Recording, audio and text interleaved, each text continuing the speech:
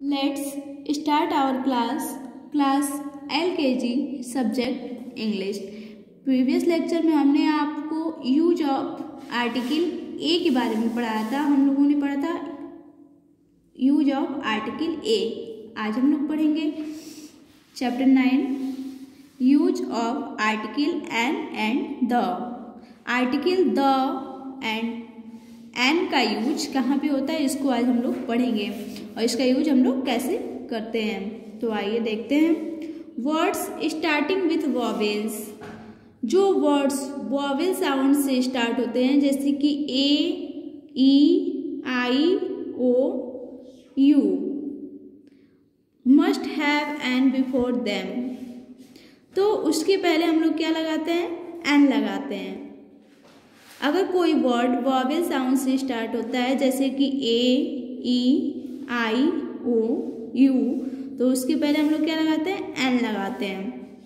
But some starting with U E U and O having the pronunciation of any consonants have a a before them. Example, a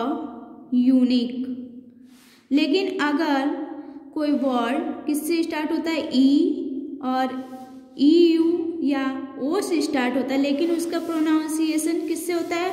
किसी consonants letter से होता है, जैसे ए तो उसके पहले किसी कॉन्सोनेंट लेटर से होता है तो उसके पहले हम लोग क्या लगाते हैं? ए ए लगाते हैं। क्योंकि अभी आपने पढ़ा है यहाँ पे कि जिसमें ए ई आई ओ यू होगा, वहाँ पे हम लोग क्या लगाएँगे? एन लगाएँगे। लेकिन अगर कोई वर्ड है जो यू से स्टार्ट है, जबकि यू हमारा क्या है? वावेल है। और ई भी क्या है? ई यू वावेल है ओ भी वावेल है। और इसका प्रोनाउंसिएशन कैसे होता है? कंसोनेंट्स वर्ड से होता है। तो उसके पहले हम लोग क्या लगाते हैं? ए लगाते हैं। The the is definite article the जो होता है वो डेफिनेट आर्टिकल होता है। Use to explain a certain person और थिंग यू मीन और द जो होता है, वो डेफिनेट आर्टिकल होता है और ये किसको एक्सप्लेन करता है? किसी सर्टेन पर्सन या थिंग्स को क्या करता है? एक्सप्लेन करता है डिस्क्राइब करता है, जो निश्चित होता है। तो आइए एग्ज़ाम्पल में हम देखते हैं। यहाँ पे दिया है एलिफेंट एन एलिफेंट तो इसमें क्या है? जो वर्ड है, वो किससे स्टार्ट है? वॉवेल साउंड से स्टार्ट है। जैसे कि देखिए ई ई क्या है? वॉवेल है तो इसलिए यहाँ पे क्या लगा है? एन लगा है। यू अम्ब्रेला का यू क्या है? वॉवेल है, इसलिए यहाँ पे भी एन लगा है। आउल का ओ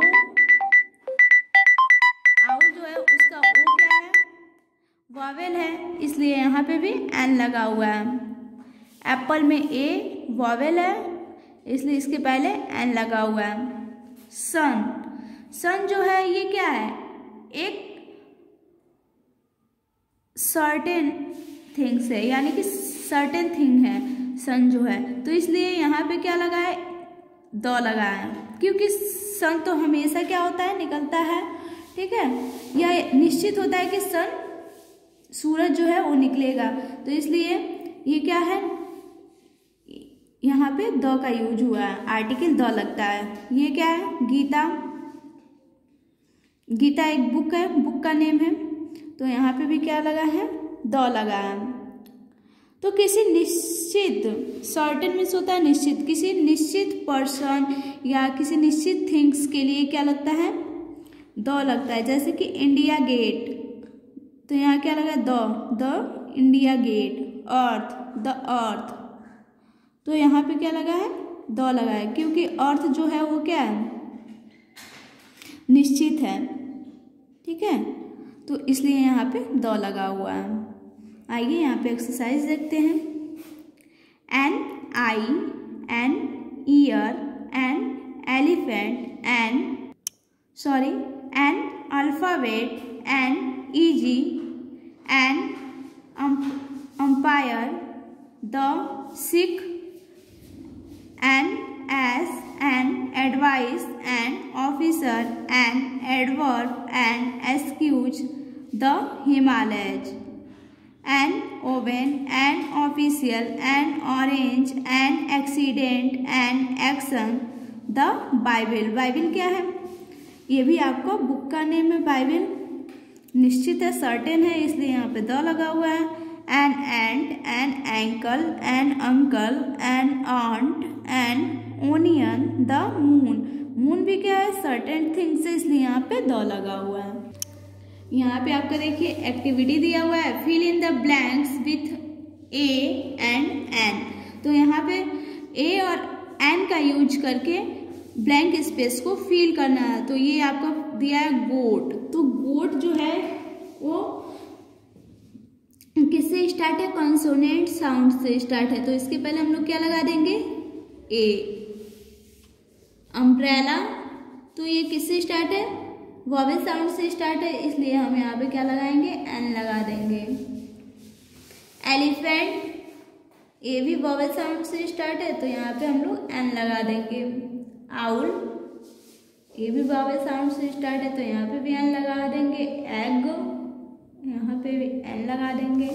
ऑरेंज वॉवेल साउंड से स्टार्ट है तो यहाँ पे एन लगा देंगे। मैंगो तो एम जो है वो कॉन्सोनेंट है तो यहाँ पे हम लोग ए लगाएँगे। हैन का एच जो है वो कॉन्सोनेंट होता है तो यहाँ पे ए लगा देंगे। इंजन तो इंजन जो है वहाँ पे हम लोग एन लगा देंगे।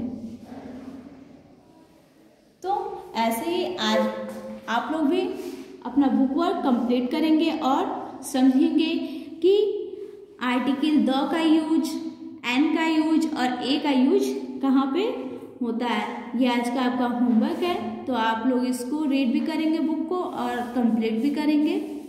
आज का आपका क्लास यहीं पे ओवर होता है। Thank you